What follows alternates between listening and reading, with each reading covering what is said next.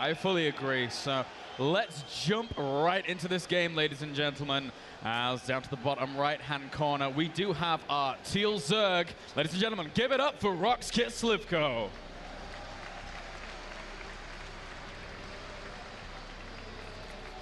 And in the top right, hailing from Australia, it's going to be Moonglade. So coming back to those little control tidbits that you were talking about. Roxkit Slivko had a pretty good run through the Russian Federation Nationals for the WCS. Uh, the only problem where he really kind of fell short was actually falling down into that lower bracket and then eventually being defeated by uh, Titan, his teammate.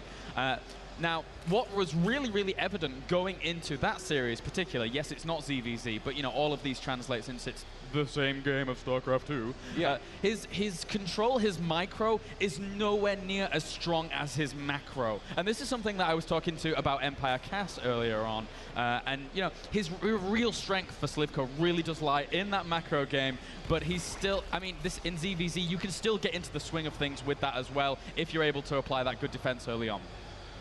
And I mean, it looks like Slivko is going to be having to test his micro right away. Yeah. He's going to be in a 15 pool situation versus the 10 pool of Moonglade.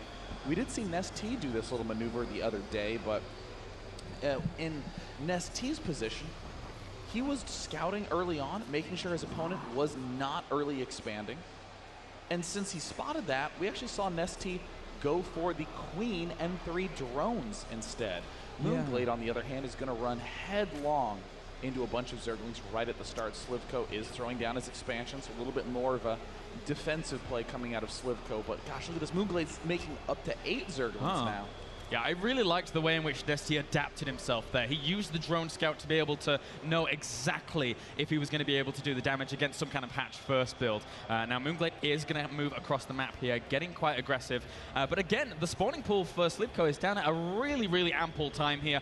Gas is going to be on the way as well, so he's not really going to fall behind in any kind of like speed race. Uh, and I don't really see this doing too much damage unless, of course, he gets really, really lucky. Well, it looks like Moonglade might just go ahead and target this directly. Look at this great positioning. Moonglade can then make a nice arc to pick off any units that try to come down the ramp.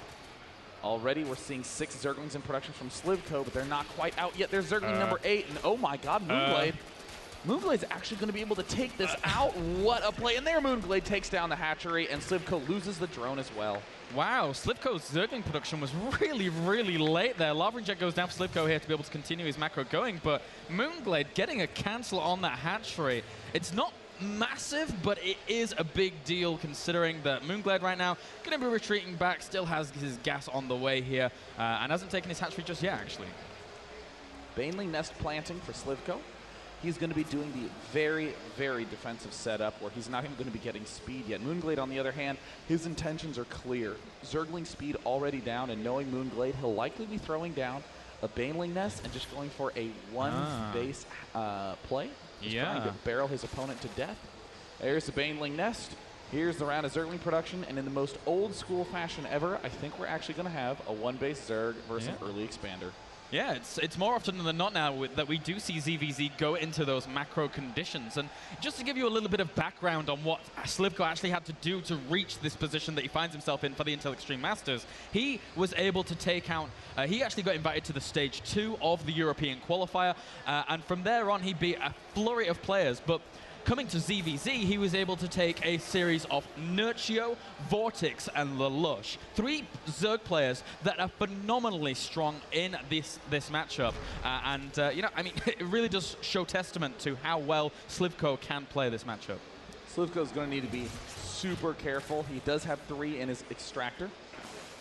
So he'll be able to replenish those Banelings if need be. There's no Spine Crawler down yet, and here's going to come Moonglade's huge surprise. He's going to be moving in with a huge number of Ling Baneling. Spreading into the front. There's that first Zergling leading. He's going to spot these two. No, actually won't spot the, the Banelings. And right now, Slivko knows something's up. That's a very early speed.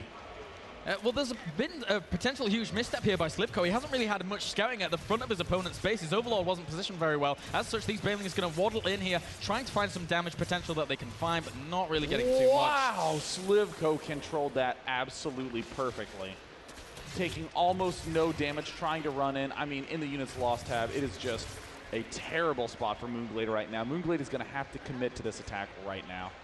Yeah, he's still going to produce um, way more Zerglings on the way here. Baneling's going to be morphing in as well. Once again, we have defensive Banelings morphing in for Slivko as well. He's trying to get that Spine Crawler up. If he can get that up, it's going to be so much more easier to be able to deal with these Banelings. But so many Zerglings oh. flooding in, getting caught by a few oh. Banelings on the ramp. They're connecting massively as Slivko will be able to clean this up for now, losing maybe one or two drones, but still really nice defense here by Slivko. Oh, Slivko just did exactly what he needed to do. The Banelings on the ramp decimated everything. Moonglade was hoping that there was just a single Baneling on the top of the ramp, but there were two, and he lost almost every single one of those units. That was just such a tragic misstep by, by Moonglade. And now Slivko has the larva advantage. He has the queen advantage. Well, actually, he will have the queen advantage once these, uh, because he has the two hatcheries up and running here. So for now, Moonglade having to play catch up. He does have a wave of drones on the way to be able to try and catch up to the 33 drones to the current 23 drones that he finds himself at here. And trying to poke forwards a little bit, but not really getting too much done at this point.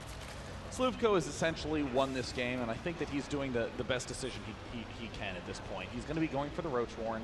Uh -huh. He'll be able to get the fast Roach speed. Does he have three geysers up or four? Nope, looks like just three. So doing a standard Roach speed attack timing will just crush Moonglade's front. But, I mean, let's be honest, anything Slivko does at this point is going to get him the win, because look at that units killed tab. 38 oh. units killed off. In the worker tab, Ooh. 38 to Slivko. Just had a lone Baneling connection there on a few Zerglings at the ramp here of Moonglade. He is throwing up a Spine Crawler to try and ward him against some kind of aggression, but you you were right in your assessment. Completely right. Uh, Slivko has established himself such a good economy early on in this ZVZ that it's very, very difficult without being able to really do some damage uh, to be able to actually catch up here once that Roach count begins to rise. I love watching Zerg vs. Zerg nowadays because of the third base predominance in this matchup. You see Moonglade snuck in, picked that off, denied that expansion. Yeah. But is just going to be adding on more and more and more and more drones.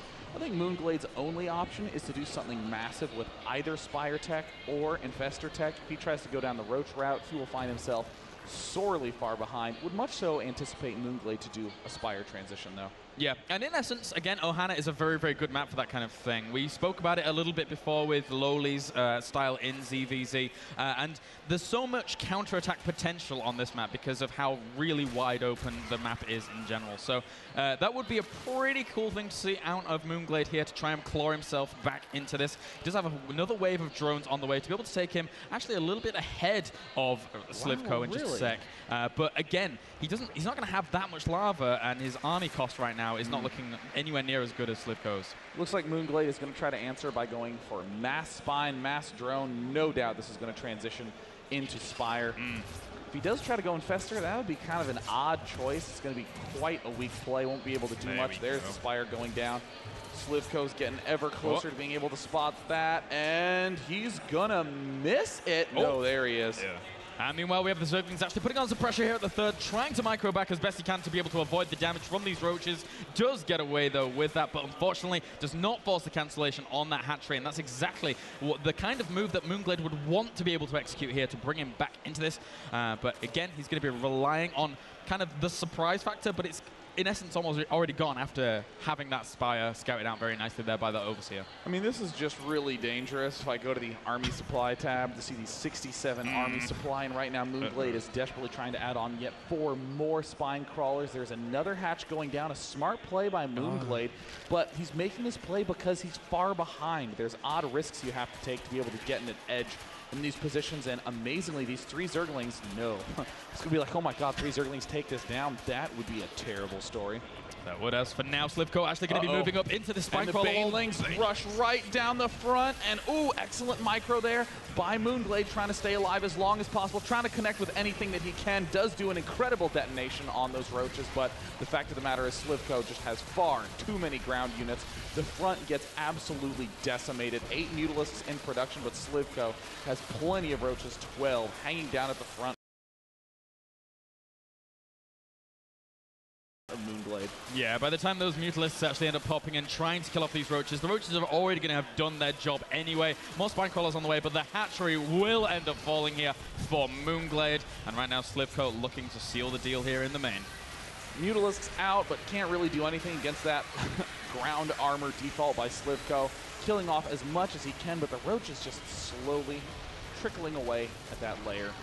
Yeah, he does have Archery still on the way down to the southern position from his main here, but once that Lair goes down, I mean, his economy right now is crippled in comparison to Slivko's anyway. Slivko really showing the one of the great, great reasons he is so good in this matchup. Able to take those defensive positions quite nicely. It doesn't rely on too much micro because you just put Banelings at the top of your ramp and kaboom kabar. If your opponent actually take it for There's extends, a good game.